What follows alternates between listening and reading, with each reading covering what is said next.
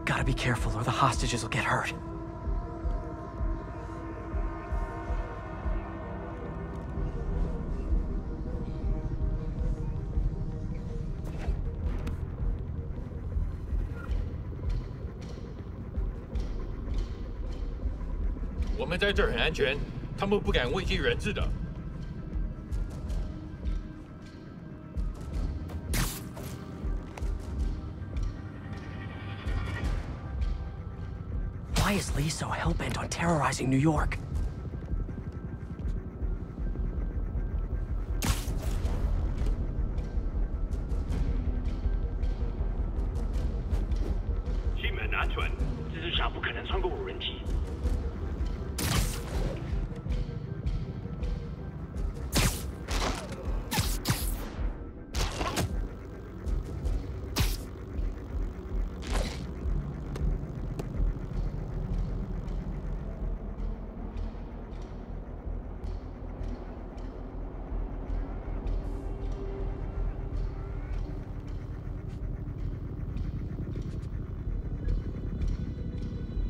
Fisk never would have taken hostages like this.